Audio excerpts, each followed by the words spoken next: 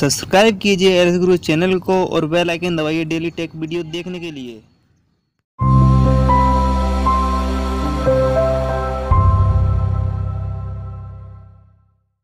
Hello दोस्तों, आज हम बताएँगे आपके पीसी में अपने ग्राफिक कार्ड कैसे देखते हैं। यदि आपको अपने पीसी का ग्राफिक कार्ड नहीं पता है तो हम बताएँगे आप अपने ग्राफिक कार्ड कैसे देखते हैं। तो दोस्तों, आपने डेस्कटॉप पर आ जाना होगा। डेस्कटॉप पर आपको बिन प्रेस आर दबाओगे तो आपको एक विंडो खुलेगा।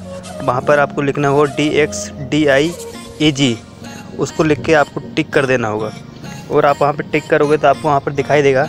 पीसी की सारी इन्फॉर्मेशन दिखाई देगा, जहाँ पर आपको डिस्प्ले में जाना होगा, दूसरे नंबर पर दिखाई देगा। डिस्प्ले में आपको शो कर देगा कि फ़र्स्ट में ही नाम लिखा हुआ ग्राफिक कार्ड्स का, कि अपना ग्राफिक कार्ड्स कौन सा लगा हुआ है, कितनी जीबी का है।